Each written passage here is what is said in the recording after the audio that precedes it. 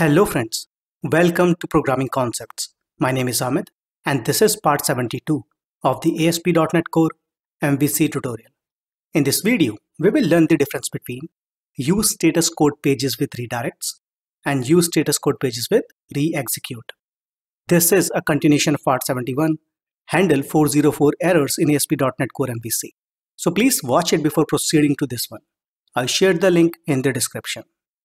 First, let's learn about use status code pages with redirects.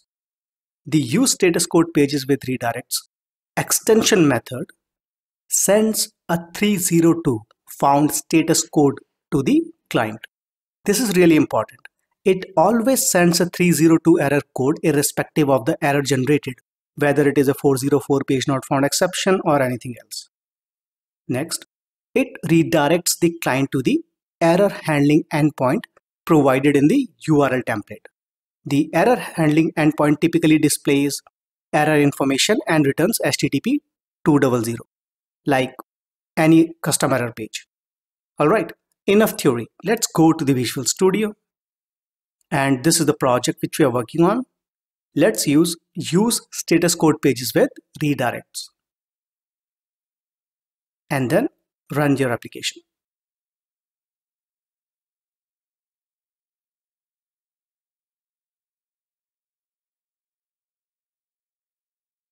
Press F12, navigate to Network tab, navigate to any URL which is not available in our application. Let's say slash Amit. Let's go to the Developer tab if you observe carefully the first request, Amit, mouse over, and you can see the complete URL which we try to access, has a status code 302. This is just what we specified in our slide. Sends a 302 found status code to the client. All right. The next point in our slide is to redirect the client to the error handling endpoint provided in the URL template if you look at the program.cs class, we specify status code error as an endpoint, or you can say it as an URL within its location or URL template. So if we look at the URL of our application in browser, we try to access slash Amit, but this middleware use status code pages with redirects redirects us to status code error URL. Let's go to slide again. Another important point is the error handling endpoints typically display error information and return HTTP 200. To display such errors, we created our custom view, which is home controller and error action method. So we covered that and it returns HTTP 200 status code. Let's confirm that. Let's go to the developer window. Mouse over 404 you can see this is the page which the end user gets after it is redirected and its status code is 200. 200 status code means success or okay. Simple, extremely simple. Alright, let's see when should we use this method. This method is commonly used when the app should redirect the client to a different endpoint usually in cases where a different app processes the error. For web apps, the client's browser address bar reflects the redirected endpoint. We can also use this when we shouldn't preserve and return the original status code with the initial redirect response. 302 found redirect status response code indicates that the resource requested has been temporarily moved to the URL given by the location header. So the user enters the correct URL, but because of any reason its URL is changed to something else, then also you can use this method. All right. Next, use status code pages with re-execute. So the use status code pages re-execute extension method generates the response body by re-executing the request pipeline using an alternate path. Does not alter the status code before or after re-executing the pipeline.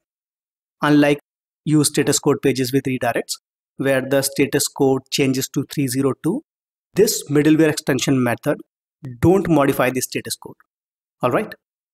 Another important thing to remember is that although this middleware doesn't modify the status code, the new pipeline or you can say the next middleware in the pipeline may alter the response status code as the new pipeline has full control of the status code. If the new pipeline does not alter the status code, the original status code will be sent to the client. The URL template must start with slash and may include placeholder 0 within curly braces for status code to pass the status code as a query string parameter. Pass a second argument into use status code pages with re-execute.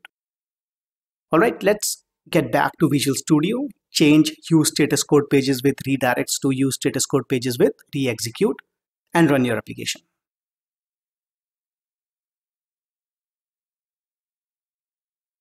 Press F12, navigate to Network tab, navigate to any URL which is not available in our application, let's say slash Amit.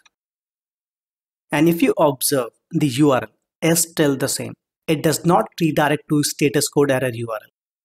Now go to developer tab. The page Amit which we try to access has 404 error. So there is no modification to the original status code. Next, let's see the query string option which we discussed in the slide. Let's go to the Visual Studio and stop the application. So what do we have to do? To pass the status code as a query string parameter, pass a second argument into use status code pages with re-execute. So instead of placeholder, remove the slash and type question mark status code is equal to zero within curly braces. Let's go to home controller. Now within the route, we will get the status code. So remove it from the route. And that's it. Let's put a breakpoint and run our application.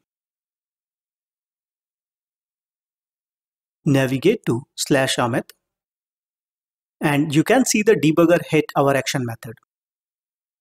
And we get the required status code as a query string. Similarly, if you want to pass some other information as a query string, you can create it in the middleware within the program.cs class. Remove the breakpoint and press F5. As you can see, we have the required response.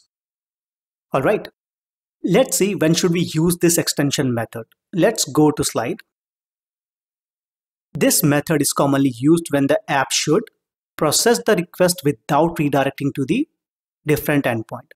For web apps, the client's browser address bar reflects the originally requested endpoint. Preserve and return the original status code with the response. All right, another use case specified in the Microsoft site is the endpoint should process the error can get the original URL that generated the error. This is important because in the live project, we not only display some error pages, but we also capture logs. If we only get the status code but not the info from where the error is generated or what kind of URL user tries to access, then it is a problem for developer. Let's see how to implement that. Let's go to the Visual Studio. Let's say where status code re-execute feature is equal to http context dot features dot get then i status code re-execute feature. Let's check if we get the required object or not. So if status code re-execute feature is not null curly braces ViewBag dot original path is equal to status code re-execute feature dot it has different options like original path base, original query string. And let's use original path, which will return the path which end user tries to execute. Let's display the same in our view. So let's go to index view. ViewBag dot original path is equal to at ViewBag dot original path and that's it. Let's run our application. Navigate to slash Amit As you can see, we get the required path that we tried to browse. Simple, extremely simple. So that's it from this video. Hope you like our content. If you have any queries related to the content of this video, do ask me in the comments. Till then, thanks for watching.